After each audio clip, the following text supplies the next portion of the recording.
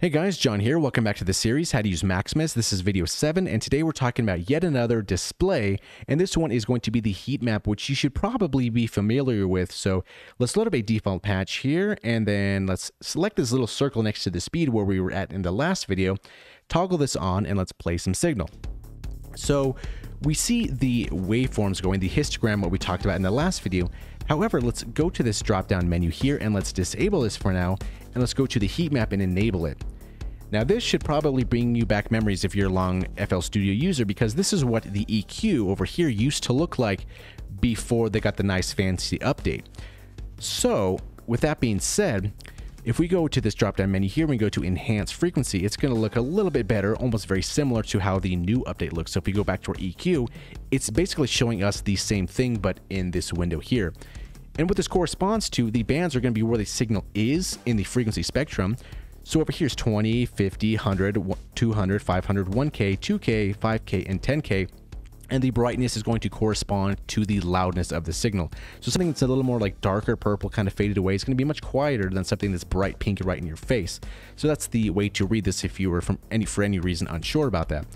And then beyond that, we have high precision here, which is going to give you more high precision.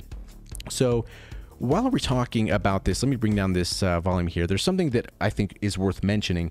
So sometimes you might have heard this as well, where you've heard a thing say, "Don't use your or don't rely on your eyes to mix or to master something. Use your ears." And to a very extent, that is true. However, I do want to add though, we shouldn't sacrifice visual feedback and visual tools just to focus on our ears because there's times and and I think we're all guilty of this where we're so focused on a certain thing in our mix or maybe a certain thing in our master that we can kind of overlook different kind of things. So maybe you're you're focused on dialing in your low end in your in this in Maximus in your low end band or something like that. You might overlook that something's happening on the very top end that there might be some distortion, that unwanted distortion that you don't want there, and you might not even think about it because you're so focused on the low end and then you look at a graph and you, and you can actually see it and you're like, whoa, wait a second, I didn't even notice that. Because there's times where we're so focused in on, on a certain thing, you know, like what's happened before is like, let's say you're automating a vocal and you're so into it, making sure the levels are right, making sure you're not, you're not going over, you're not going under, and you're really deep into the session and you might not even realize that the snare is muted.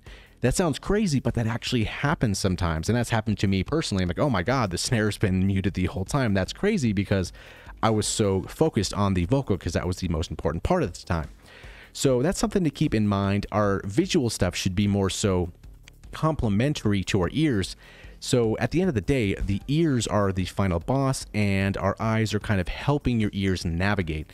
So with that being said, if our ears of the final boss, once we're done with a master, we shouldn't just call it done. We need to print that mix and we need to take it into different rooms and we need to take it into different speakers. We need to have different people listen to us. And there's a, a very interesting psychological thing that I've noticed personally is let's say you print a master and you say it sounds good, and then you listen to it on a different set of speakers, maybe some big speakers, and you listen to it there and it sounds good. The next thing you should do is bring somebody else with you and don't tell them about the mix or what you did to it or how cool that saturation is at 6K. They don't care. Just have them listen to it with you and stand next to them. You're going to notice that you, things are going to pop out to you because they're they're listening. You're going to pick up on more things. So it's almost a certain way where you're kind of hyper aware of the master that you have done. So that's kind of a cool thing in the sense that it'll make your mixes and your masters better and even if it's someone who's not necessarily an audio guy or a mixer or anything like that, sometimes those people can give you a little bit better feedback. They're just regular lovers of music because they don't necessarily understand the concepts of it too much, which is going to help you. They might say, oh, this sounds too harsh, or I don't know, it doesn't sound right. It sounds like this. And through their interpretation, they're giving you an honest opinion, and then you know the technical aspect of it, and you can make those changes. So I thought I'd mention that because this is this is kind of coming to the end of the visual side of the instructional course of this of this whole series. So when we when we hear rely on our ears, yes, that's very true because at the end of the day, this is sound and we listen to sound through our ears, not our eyes. But our eyes can also help us or help our ears interpret what's going on. So yeah, so moving forward from there, the last menu here is going to be the heat the heat map position, and we have top, bottom, and full. And if we click these different buttons here, we notice that nothing is changing and it's not broken it's it's working as intended. However we also have to have the histogram enabled what we talked about in the last video.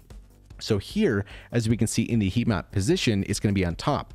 So this is a cool way to see the actual histogram with the heat map on top of it and our bands split bands behind that. So what we're seeing here is actually a lot of information.